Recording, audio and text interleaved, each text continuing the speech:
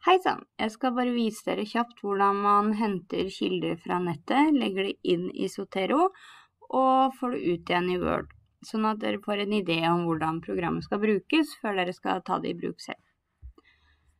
Hvis vi da begynner på nettet her, så finner vi den eh, nettsiden vi vil hente kilden fra. For eksempel har jeg brukt en artikkel på Aftenposten.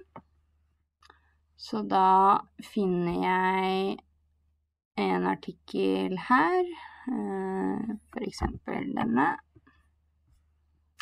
Så ser dere jeg har en sånn lite tegn her oppe. Noen ganger kan det se ut som en puslespillbrikke. Da trykker du på den, og så får du opp et lite ark da. Så når jeg trykker på den, så ser jeg den legger seg inn i sorteroen min. Da må jeg se etter forfatter og dato her. Den er skrevet i dag, 15. oktober, av Camilla Vesteng. Så da må jeg se om det er blitt med i Sotero. Så når jeg åpner Sotero da, så ser jeg artikkelen har lagt seg inn her. Den er ikke med forfatter eller dato, dette må være med. Så da må jeg fylle inn etternavnet, som var Vesteng, i etternavnfeltet og Camilla, som var fornavnet, i fornavnfeltet.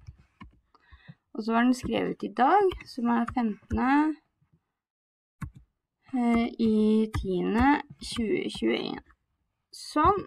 Da ser jeg URL, dato, forfatter og tittel er med, så da kan vi legge den inn i Word, for da blir det riktig. Hvis ikke forfatter eller dato er med her, så blir det ikke riktig i Word heller, og det lønner seg å sjekke det, for noen ganger blir det med når eh, Sotero henter artikkelen inn, og noen ganger blir det ikke. Så noen ganger må man bare legge inn akkurat de to tingene selv. Da går vi inn i Word, så er det en knapp her oppe som heter Sotero. Når jeg trykker på den, så får jeg opp de valgene her. Denne legger til kilder i løpende tekst, altså mens du skriver, og denne legger til kildelisten til slutt. Så her har jeg skrevet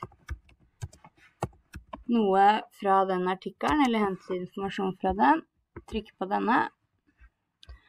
Velger APA 7, for det er det vi bruker her. Norsk, OK. Trykker jeg på denne artikkelen. Hadde det hatt sidetall, så skulle det bli skrevet inn her. Så popper denne artikkelen opp. Da er det etternavn og årstall med, og det er riktig.